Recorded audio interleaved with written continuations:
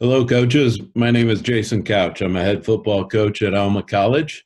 Um, I was asked to give a presentation today uh, about kind of my path that I've taken uh, to get to this point where I'm at now.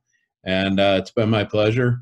Been a longtime member of the Michigan High School Football Coaches Association and uh, as a high school coach uh, for quite a long time uh, before moving to Alma little over two years ago now. So, um, but certainly my pleasure to uh, share this with you and um, wish I was doing it in person, but uh, um, you know we're, we're, making do with with what we have. So, as I'm sure you are.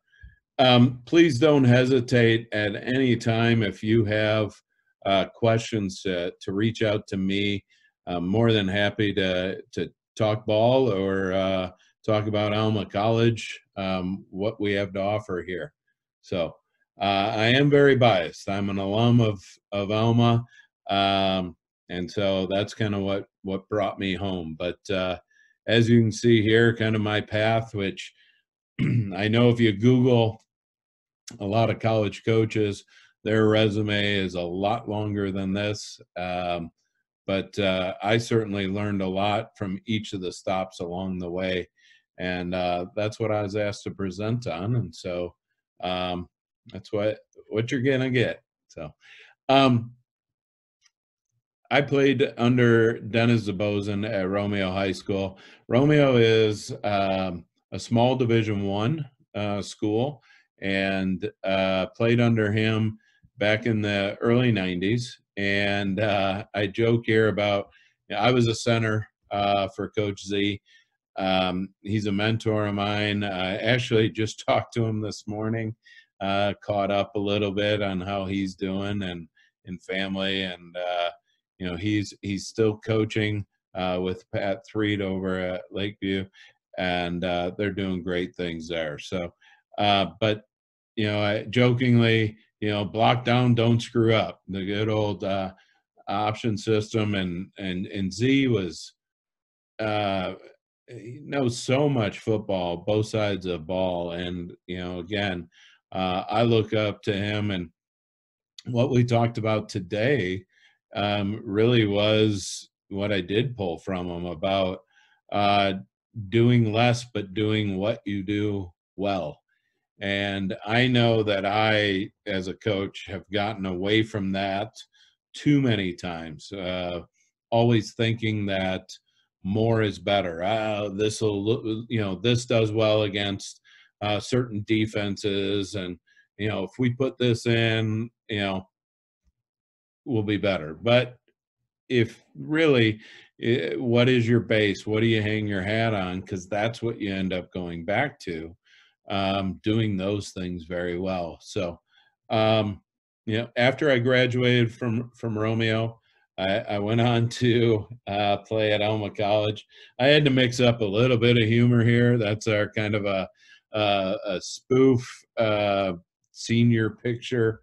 Um, so Coach Cole, uh, who I played under, allowed seniors to do kind of a, a fun little uh, photo uh, I was known to put back a few chili dogs in my time, and uh, so my senior pictures there with a, a chili dog. But uh, um, at Alma College, uh, thankfully they gave me those oversized pads, so I looked bigger than I actually was. Uh, but I uh, learned a lot, and completely different system than high school and um, you know back well actually when i when i came to alma was the first year of the shotgun so it was uh, a completely spread offense a um, lot of fun um, i do you know thinking back i know coaches were uh, thinking of a few things working out the kinks um, those first couple years but uh, you know to be innovative and creative um, that's something I, I learned but from from coach cole himself uh, i certainly learned to be true be genuine um, doesn't do you any good to to um, put out a persona that's not yours. And um, I always admired him for for who he is and, and uh, what he's done. Um, not you know, of course, as a coach, but also as a mentor to myself and to hundreds, well, thousands of other uh, men who who played for him. Um, so, um, and he, he, still to this day is is of course a mentor of mine and um, a big supporter of uh, sports and high school sports and of course football. But uh, his son Scotty Cole is uh, on staff. Uh, was my first phone call uh, when I got this job about coming back home to Alma College. So um, the shotgun spread, uh, like I mentioned, it was unique to its time. I I loved the pace, the tempo. Um, I loved how people kept coming up to us. Uh, you play at Alma. How do you, you know, those splits that they do are are ridiculous. Uh, how do you do that? You can't do that. And I'm like, well, we're doing it. Um, but uh, just to give you our splits, uh, just thinking in my head as I'm talking about them, kind of fit our quarantine rules of six feet apart at least. There is not a chance that I, being a center, could ever touch the the fingertips of an outstretched arm of a guard. Uh, our splits were uh, that far plus. Um, we became, I mean, we were going to throw the ball a lot. And so we became a, a very good uh, pass protection uh, offensive line. Um, and that's something that I certainly learned there uh, from Coach Brian Zimmerman. You know, if you're going to throw the ball 80% of the time, then you better work on pass protection 80% of your practices. So it's about balancing. What's what's your thing what you're what are you hanging your hat on and making sure you work that uh, a proportionate amount in practice and so um, you know that was something that i still to this day as i'm practice planning making sure like okay if we're going to be a power team then if i'm working with tight ends then we better you know heavily work on that kick out block of that defensive end so um, just to give you an example. But um, to bounce around a little bit here, high tempo.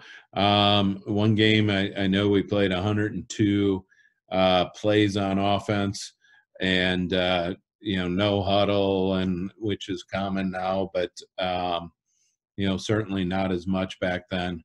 And I had defensive linemen that were literally throwing up in front of us. Um, where you know we would get excited going yes now we know we have him because if a guy's puking then he's probably not going to be as effective as a as a defender um, so that kind of stuck with me in terms of um, being in shape and running practices because we didn't condition a whole lot as when I was a player at Alma uh, our practices were conditioning enough. Um, back then was a little bit different. We certainly had longer practices, and uh, but the tempo of practice was impressive. To think back of how many reps we ended up getting in in a ten minute um, you know offensive segment. So um, that's kind of stayed with me. And I'll be honest. Um, as an offensive coordinator, uh, my goal is always to get that defender throwing up and uh, you know to get him so tired that uh, we we certainly would win the fourth quarter. Um, I thought you had to do that in the spread offense, and um, actually, it wasn't until uh, I don't think it ever happened where uh, defender was uh, so tired they're pretty much tapping out um, until 2015 uh, when we started to use at when I was coaching at Romeo and we were using the jet offense uh, where we had a linebacker that because of the sideline to sideline running, uh, did in fact get you know start getting sick right there on the field. Um, so it's not necessarily again the spread, but being a conditioned team is, very important to me. But I think it can be done in practice in tempo more so than just lining up because uh, as a player, I remember, coach, you know, on occasion we would line up. How much do you save yourself, right? How many sprints are we going to do? And you can say go full, uh, you know, full out, but you can't do eight sprints 100% without, you know, dropping, and that's dangerous now. And so, um, but you t- you tell players, you know, our expectation in practice is each play you know you're giving 100% effort and you in and out of huddles if you're huddling. That's where your conditioning is. And i think they buy into that more too is um, they see it as beneficial more so than they would ever see a lineup and condition. And i'm not saying that we never do it. We certainly do but not um, not if the tempo in practice is where it should be um, something else that I learned at, at Alma that I feel um, I still um, try to apply it and um, is asking questions. So as I was a I was a senior um, center, and I remember at times asking our coaches, "Why are you throwing this pass?" And it wasn't uh, disrespectful. Like I wasn't questioning them. I just wanted to know because I knew I wanted to go on and be a teacher and a coach myself. And so ask why. What what do you mean? Safeties, we got open or closed, two high, one high, all that stuff. Um, I had no idea. I just knew block the guy in front of me or uh, um, you know, and so I as a coach try to get our player or excuse me, the other coaches um, not that you need to on on the field spend 10 minutes explaining why you're doing a drill but if they in pre-practice meeting or afterwards even uh, i like to do it before understand why they're doing something and how it'll be beneficial i think then they see the bigger picture and then they're also more knowledgeable when they come off the field on game day and share with you what they're saying and then you can help you know come up with answers. Um, certainly college we watched a lot more film uh, than i did in high school. And uh, you know the constant uh, back then vhs the you know rewind and we had to go down um, you know we didn't get copies to take back to our our dorm, dorm rooms uh, sometimes we would borrow them and then bring them back but um, you know i found that's when I really learned to study an opponent. And then it was just typically the the two or three different nose guards that I might face, or what's a move that a linebacker uses. Um, and but I did learn to study. You know, I knew guys' moves, and I also knew how they would use them against me, right? And that made me a better player. Um, I knew that it, you know a guy's um, quicker guy, he's going to look for me to be aggressive. So I knew I had to be a little bit more patient in my pass protection, not lunging out after him and and let him do his his first move, step or two, um, before I then you know went to engage and, and deliver that you know the punch. So um, that's what gets also into that that bullet point here of knowing our flaws. Um, I knew I, I sometimes was a little too aggressive. Um, I was a little undersized, so I tried to deliver the blow to slow somebody down. But I also knew that that aggressiveness could be used against me. So um, use, I guess, study yourself. Um, and I think as a as a coordinator, um, we do that uh, a little bit and probably need to do it more is okay where what's our weak link how can we you know make sure that a defense doesn't uh, capitalize against us, um, and vice versa with the other side of the ball. But uh, so uh, I had a great four years at Alma College, and uh, you know so much that uh, when offered the job, came back and uh, asked my family to to leave our hometown uh, for forever, and uh, you know we we've certainly loved being back, but uh, we'll get into that here in a moment. So after um, Alma College, I uh, uh, student taught at Merrill High School, uh, which is about 25 minutes uh, east of Alma. And uh, as I was student teaching, I was offered a, a full time position. And so I ended up, I was at, at Merrill for two years. Um, as you can see, uh, there hadn't been a whole lot of winning tradition uh, at Merrill. And um, a comfortable part, I did go over with uh, Mel Skillman, who was special teams coordinator at Alma. Mel went over um, the same year as head football coach uh, in 1997, and uh, you know you see there, and uh, one and eight was was certainly uh, not what we were hoping to do, and um, you know, but there was still some excitement about the program. Um, coach, uh, you know, brought in the the spread offense, which was unique to Merrill. Uh, I think it suited the needs um, or desires of the the students there. They had some success with with basketball, and so we had to recruit uh, within our school. We had to get. I think our first year there, we had about 18 um, young men that were were playing football, and so uh, we really had to entice them to to come out for football. Um, and uh, you know, the second year there, five and four, holy cow, there were basically felt like parades, and and things were uh, were exciting and were a lot of fun.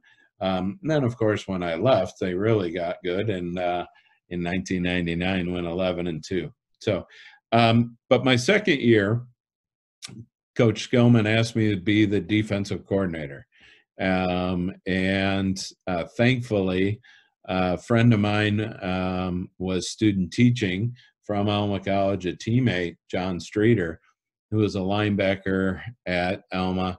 And uh, I'll be honest, he was the primary defensive coordinator. He he knew defense um, much better than I did but it did force me to to learn more about the defensive side of the ball, which I think did it later help me offensively. So um, I've got a couple other resume things.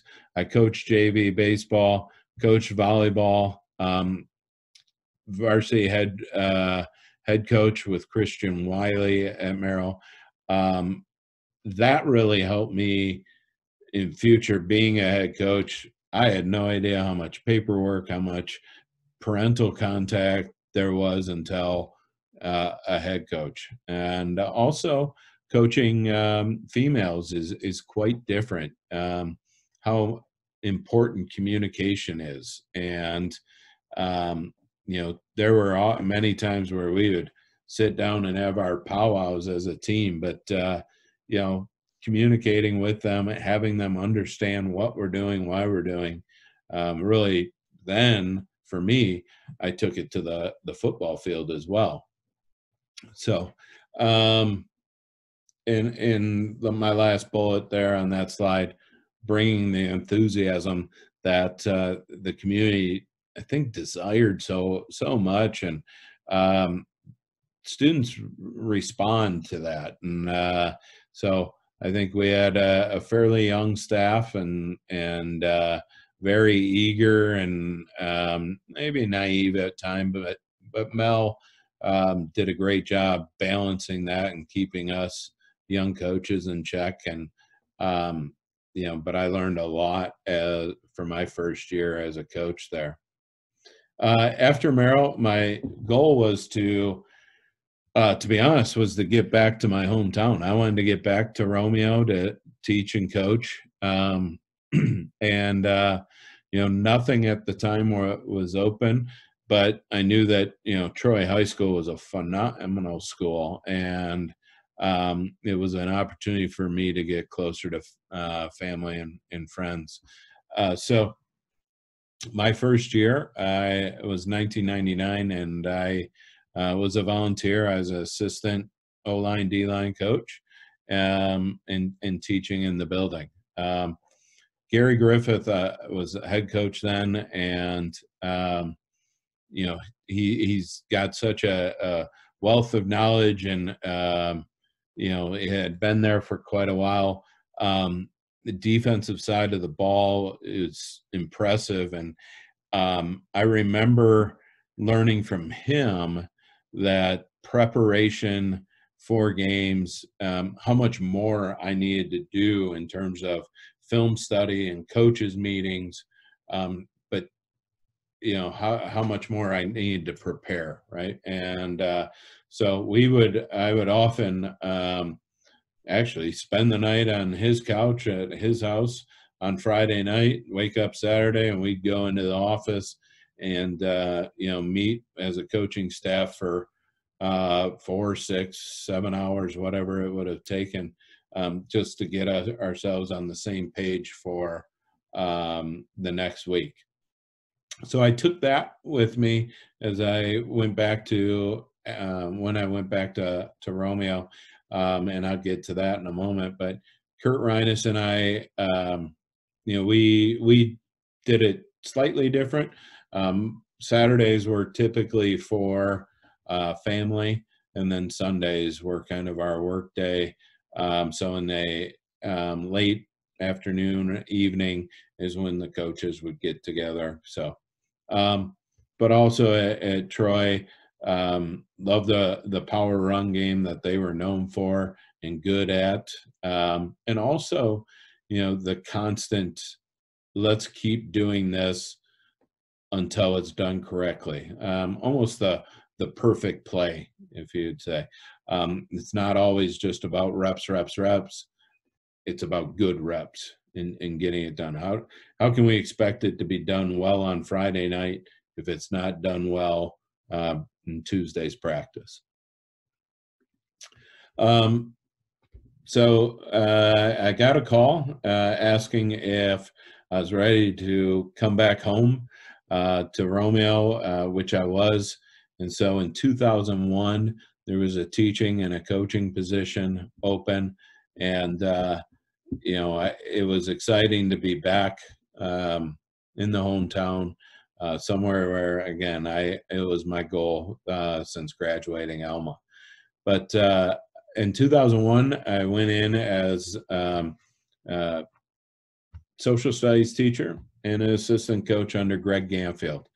Uh, Greg ha- was my uh, head JV coach when I played at at Romeo, um, and had been uh, Romeo for for 30 some years before retiring, and then going on to coach at several different uh, places. But uh, in, in 2003, um, Greg retired, and at the time uh, Kurt Reines and I, who Kurt and I uh, played baseball and uh, football together.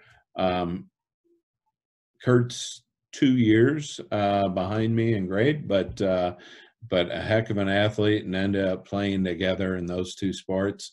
And uh, so he and I were both back there teaching and coaching. And um, when the position was open, you know, we we were both we both applied for it. Uh, I certainly made it clear that if he got the job, um, I would stay on and, and, work, you know, for him, and and he relayed the same message. So um, that's when we both said, well, you know, I got to believe our goal and our vision for for Romeo is very similar, and we kind of uh, shared with each other our philosophy. Our we had uh, uh, interview booklets kind of made up, and uh, so we finally said, you know, why don't we do this together? We'll be co-head coaches, and so we presented that to um, our athletic director, Greg Breinert, and then principal uh, Gavin Johnson. And I think it they were probably a little relieved because they I doubt they really wanted to make that decision of one or the other, um, especially fearing that might lose one. But uh, there was still some some ap- apprehension because back in 2003 there weren't too many examples of co-head coaches. Um, why it worked is the first bullet point there of communication.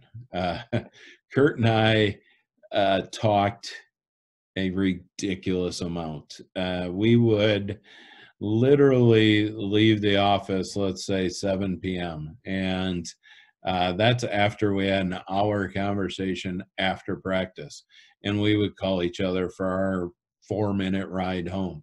And I remember it sometimes sitting in the driveway because we're still talking, and because I didn't want to walk into the house and be on the phone. Uh, and then other days I would walk in, and my wife would be like, "Are you kidding? You guys are still talking with each other."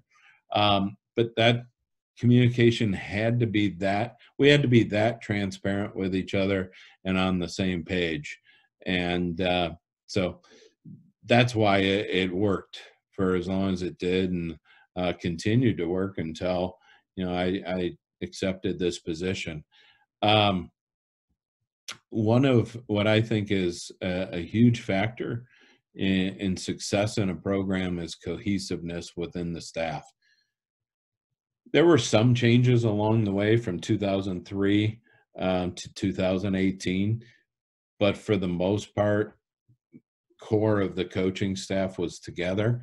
And when you don't have to coach coaches, and I don't mean like tell them what to do, I mean like the terminology that you use and um, your culture that you're trying to to present and to share.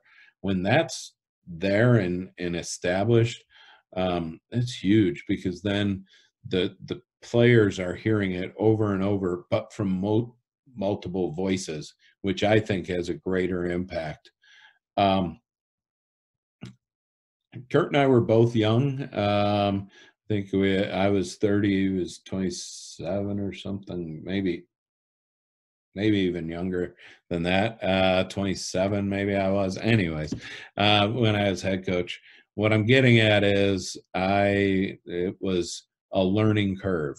Um, I think I forgot about some of Coach Zabozin's principles of do a few things well instead of a lot of things just okay, because we tried to do everything. Um, hey, this against this defense, this play would be strong. Yeah, it would, but what if they have an answer and now what? And um, you know, we didn't think through currently what we try to do is we're going to run this play. Okay, well, if their answer is this, what's ours back? And having multiple of those answers for the same play, because then you're running that one play much better. Um, and so uh, that was, it took us a couple years to, I think, find our, our, our niche, our base, and, and settle down. And um, it wasn't always the, the, you know, hybrid wing-T that we called it, uh, which we started in 15. Uh, we were, you know, had some pretty strong teams, 2010 um, doing the zone option stuff. Um, RPO stuff before it was known as RPO. Um, and so, uh, but what I learned there again is evolving to what players, um,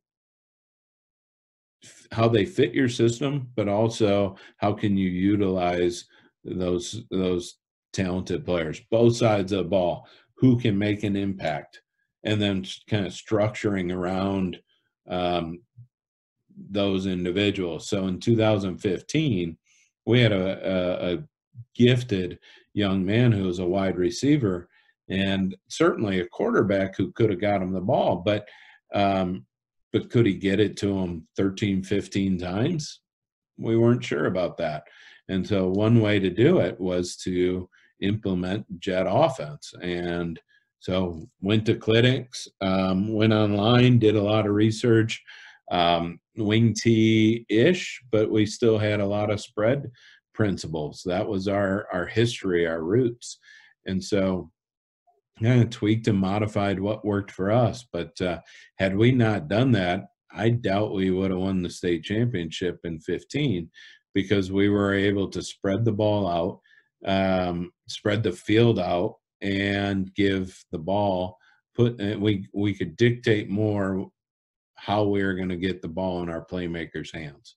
Um, and so, what I also uh, like a lot is doing things that are a little unique. So, especially in 15, even though people were shocked, this is the first year you ran the, you know, this offense and how surprised they were. I think what it was was also a big advantage for us. Teams hadn't prepared for it. Um, and so they hadn't seen it and hadn't prepared the year before. Um, so that really gave us uh, an advantage. And I'll tell um, when we would watch film and we'd prepare, well, how are they going to line up to this formation? We had no idea. Um, that kind of made it fun is the on the game, uh, on the field chess match. But you had to be sound with your, your rules, and our players had to know um, exactly what their responsibilities were. Um, if he lines up inside of you, are, is it a down block? Or if he's outside, are you reaching?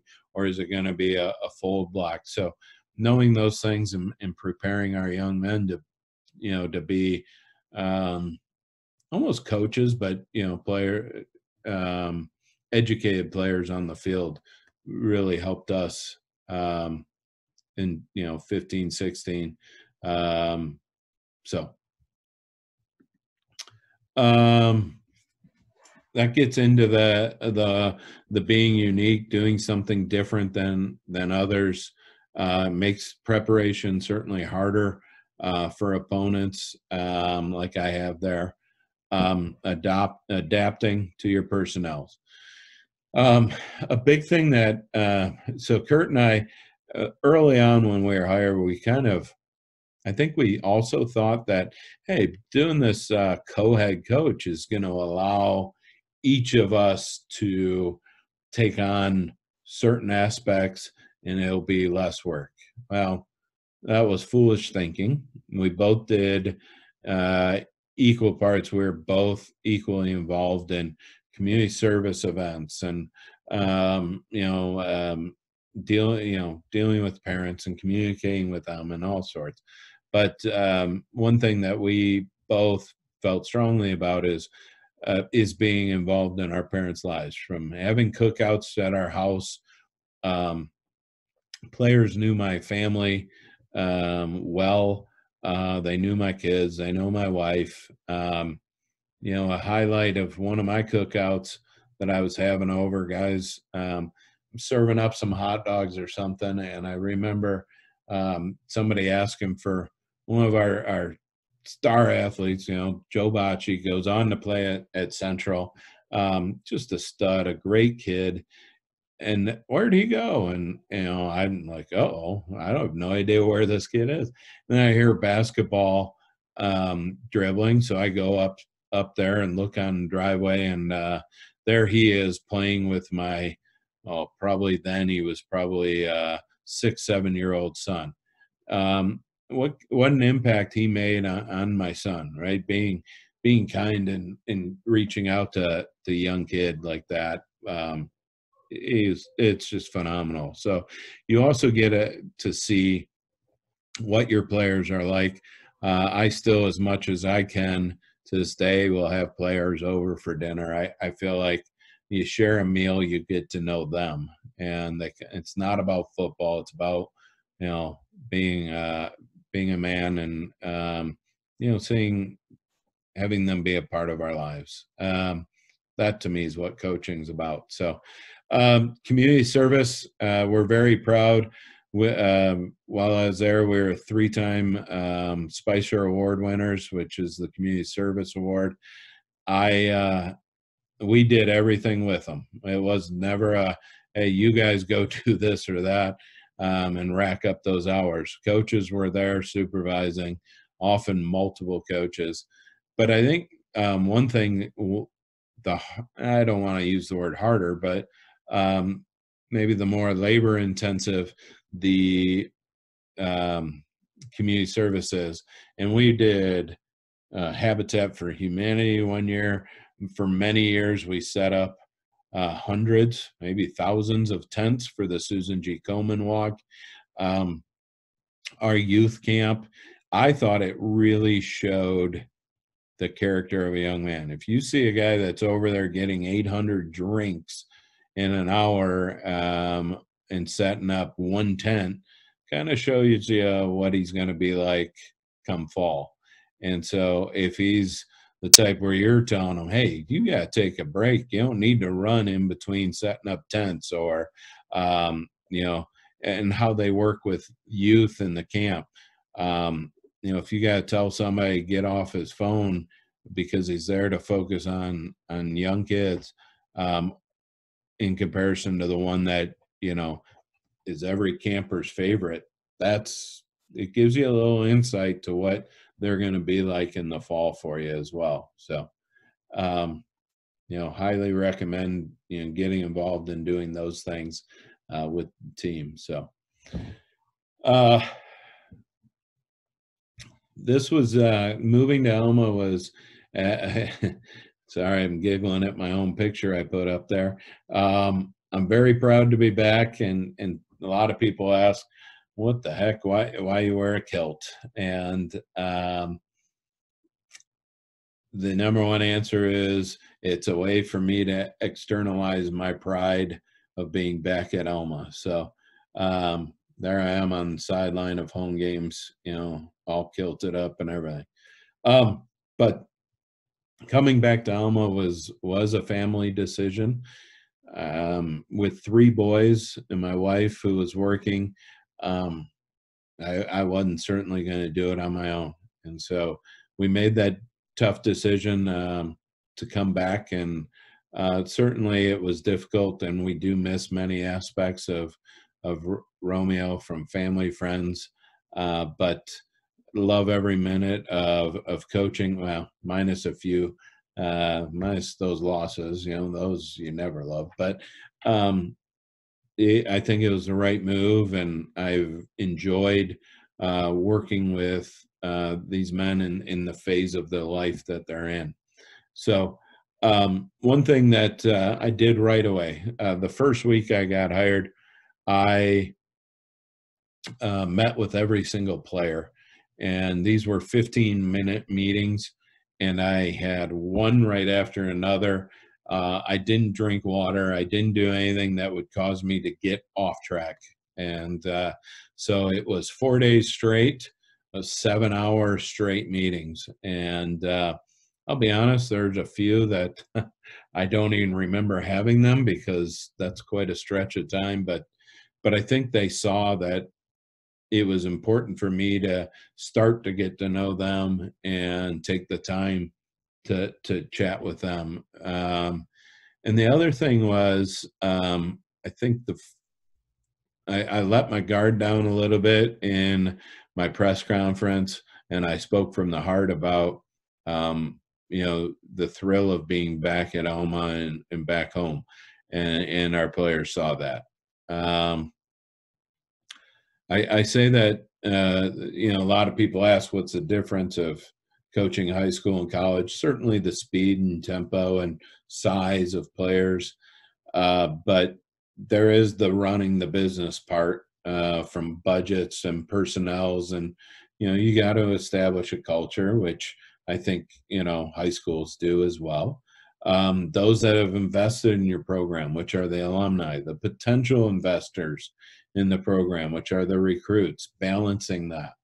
Um, there's something to look up of um, for me I, I asked my coaches to we one of the early videos i showed coaching staff uh, and you can youtube it it's called johnny the bagger and uh, it's a great story um, but basically how do we want to treat our young men who play for us? Um, why will you know they're not getting scholarships? So, other than the love of the game, how can we enhance their experience? And so, if you got a few minutes, uh, it's just a couple minute video um, on Johnny the Bagger, but um, you know it's worthwhile. So, um, and then umpteen different committee meetings that I get the privilege of sitting on. That's certainly makes it a little different than than high school. Um, early, I, I, made it important uh, aspect of reconnecting uh, alumni uh, to Alma College, and, and um, Jim Cole was uh, detrimental to doing that and helping me.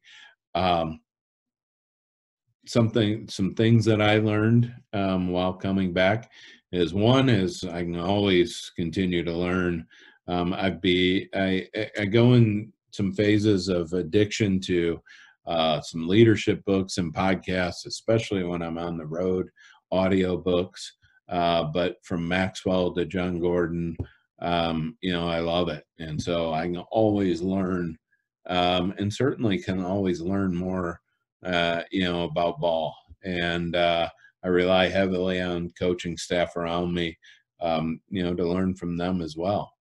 So um, surrounding yourself with with people you trust that goes back to talking about Romeo staff and how we are worked together for so long, and we we just we knew each other well. We we um, knew the personalities of each other and kind of you know help balance it.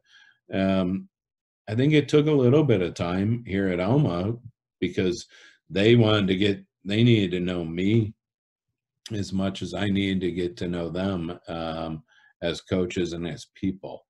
Um, I also am a big believer.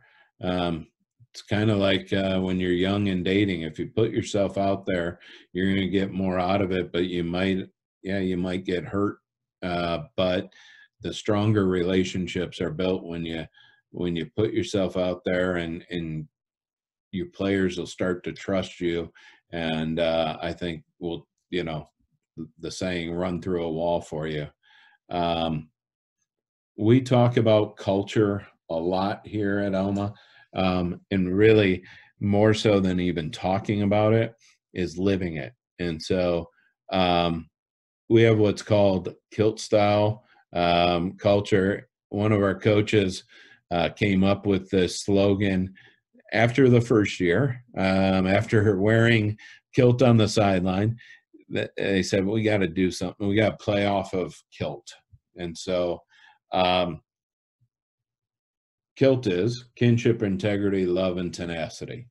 Um, and I won't go through each of those with you, what they mean to us, but that's not all of it, right? Um, the base, everything that's being held up, and you can see it in this this graphic here, is about relationships.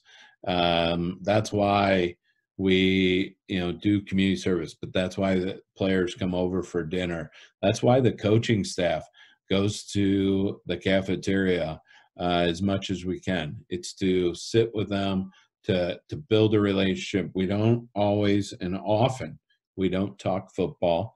We find out who's dating who and who got dumped and how things are going at home and um, if a parent is you know struggling or or sick, um, that's where we find those, and then we certainly follow up with a more you know maybe intimate like a one-on-one meeting with them and and see how they're doing. Uh, Pride in the Plaid is is just that. Be proud of Alma. Be proud uh, of being a part of it, um, and supporting others um, within Alma College. PLP is player-led program. This is what is. This one certainly is continuing to evolve because I think it's not. It didn't happen right away. One, I don't know if I trusted right away. Um, and but players I know have similar intentions and goals as as we as coaches have.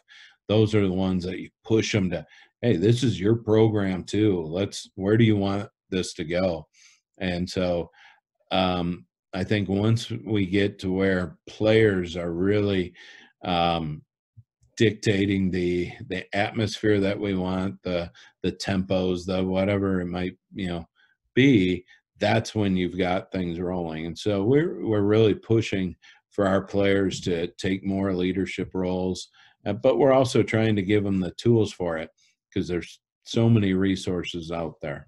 So um, and then within our culture we um, we also have an offensive and a defensive culture.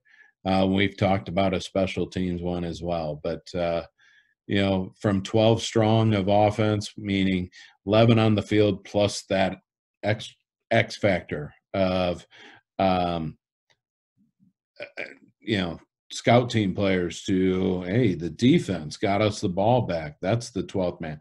Our crowd, our um, you know, the coaches. So um, to our defensive side, you know, the effort, attitude, toughness um, culture. So a lot goes into it, and um, you know, but it's certainly you know I've seen a a, a movement um, and an expectation now within the program that I'm excited. Um, it's our our kids are are thirsty for it. They want to. They have the desire to to be successful on Saturdays, but do it the right way um, within the kilt style culture.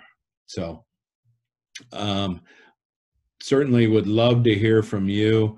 Uh, if you have questions, don't ever hesitate to reach out. That's my cell phone there. Um, Twitter, uh, Coach Couch, uh, Alma there. But uh, would love to hear from you and um, would more than uh, more than happy to sit down and, and talk. Um, a couple of things uh, last mention.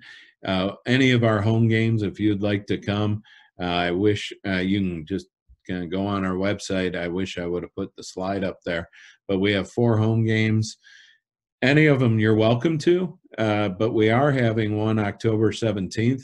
Uh, we're calling it the High School Coaches Appreciation Game, where we'll have some refreshments and things before and after.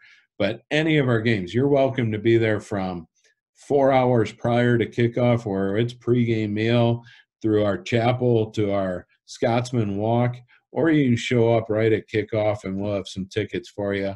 Um, and then after the game on the 17th, we're going to have an area where um, you'll be able to to talk uh, a little bit more, share some refreshments, and uh, but we would love to have you up and uh, share the experience. So please don't hesitate to reach out for you, your staff, your family if you'd like to come up for a game. So thank you all. I hope uh, this was uh, a little beneficial, helpful.